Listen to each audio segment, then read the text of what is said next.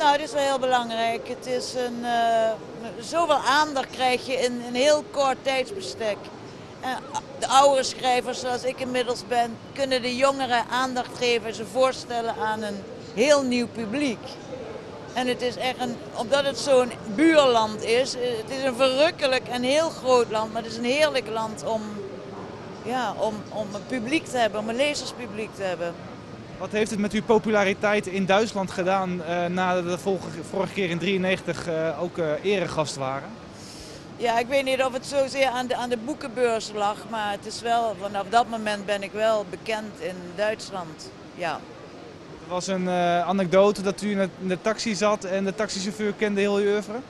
Ja, dat was echt onvoorstelbaar. Het was een, in Berlijn, ik reed met Tiziano Perez, die van het Letterenfonds, zat in een taxi. En hij, die taxichauffeur herkende me en zei, ik, ik heb alles van hem gelezen. En ja, die was heel, heel wonderlijk. Dat heb ik zelfs in Nederland nog niet meegemaakt.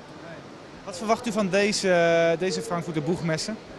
Ik ben niet zo iemand die met uh, hele verwachtingen naartoe gaat. Ik heb heel veel interviews en een aantal televisieoptredens. En gewoon even eigenlijk een paar dagen hard werken. Dat...